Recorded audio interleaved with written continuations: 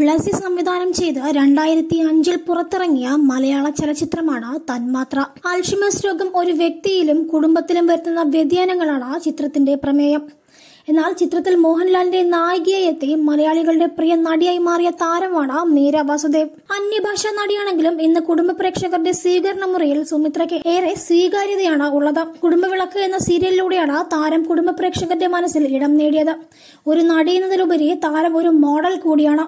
മഹാരാഷ്ട്രയിലെ ഒരു തമിഴ് കുടുംബത്തിൽപ്പെട്ട വാസുദേവൻ ഹേമലത എന്നിവരുടെ മൂത്ത മകളായി മുംബൈയിലാണ് മീര വാസുദേവിന്റെ ജനനം. താരത്തിന്റെ ഇളയ സഹോദരിയായ അശ്വനി സൽമാൻ ഖാൻ നായകനായി അഭിനയിച്ച ജാനാം സം കരോ എന്ന ചിത്രത്തിൽ ഒരു ബാലതാരമായി അഭിനയിച്ചുകൊണ്ട് ശ്രദ്ധ നേടിയിരുന്നു.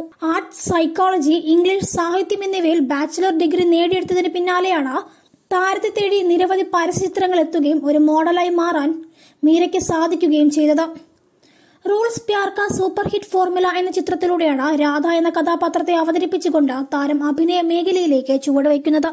തുടർന്ന് തമിഴ് തെലുങ്ക് മലയാളം കന്നഡ ഹിന്ദി തുടങ്ങിയ ഭാഷകളിൽ നിരവധി ശ്രദ്ധേയമായ കഥാപാത്രങ്ങളെ അവതരിപ്പിക്കാൻ താരത്തിന് സാധിക്കുകയും ചെയ്തു.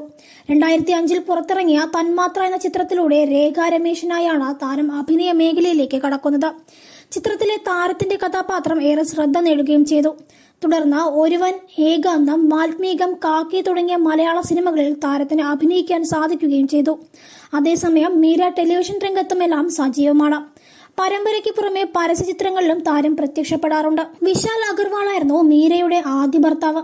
ആദ്യ ഭർത്താവിൽ നിന്ന് മീരയ്ക്കുണ്ടായ ശാരീരികവും മാനസികവുമായ ഉപദ്രവങ്ങൾ ഊഹിക്കാവുന്നതിനും അപ്പുറമായിരുന്നു. രണ്ടായിരത്തി പന്ത്രണ്ടിൽ രണ്ടാമത് മീര പ്രണയിച്ച് വിവാഹിതയായി. നടൻ ജോൺ കോക്കനായിരുന്നു മീരയുടെ രണ്ടാം ഭർത്താവ്. ഇതിൽ ഇവർക്ക് ഒരു മകനുണ്ടായി. എന്നാൽ അധികം വൈകാതെ ഈ ബന്ധവും പിരിഞ്ഞു. വ്യക്തി ജീവിതത്തിൽ ഒരിക്കലും ഓർക്കാൻ ഇഷ്ടപ്പെടുന്ന കാര്യങ്ങളല്ല തന്റെ രണ്ട് വിവാഹ ബന്ധങ്ങളും. ഓർക്കാനും പറയാനും ഇഷ്ടമല്ലാത്ത കാര്യമാണിത്. പക്ഷെ ഒന്നു മാത്രം പറയാം. വിവാഹബന്ധം വേർപെടുത്തുമ്പോൾ സമൂഹത്തിന് മുന്നിൽ എപ്പോഴും സ്ത്രീകൾ മാത്രമാണ് കുറ്റക്കാർ. സ്ത്രീകൾ അനുഭവിക്കുന്ന പ്രശ്നങ്ങൾ ആരും കാണുന്നില്ല എന്നുമാണ് മീര ഒരു വേള തുറന്നു പറഞ്ഞത്. ഇപ്പോൾ മകൻ അരിഹയ്ക്കൊപ്പം കൊച്ചിയിലാണ് മീരയുടെ ജീവിതം.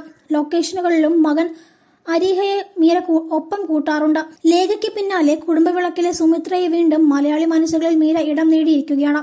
അതേസമയം സോഷ്യൽ മീഡിയയിൽ ഏറെ സജീവയ താരം തന്റെ വിശേഷങ്ങളെല്ലാം തന്നെ പങ്കുവച്ചെത്താറുണ്ട്. അടുത്തിടെയായിരുന്നു താരം തന്റെ വർക്കൗട്ട് വീഡിയോ പങ്കുവച്ചെത്തിയതും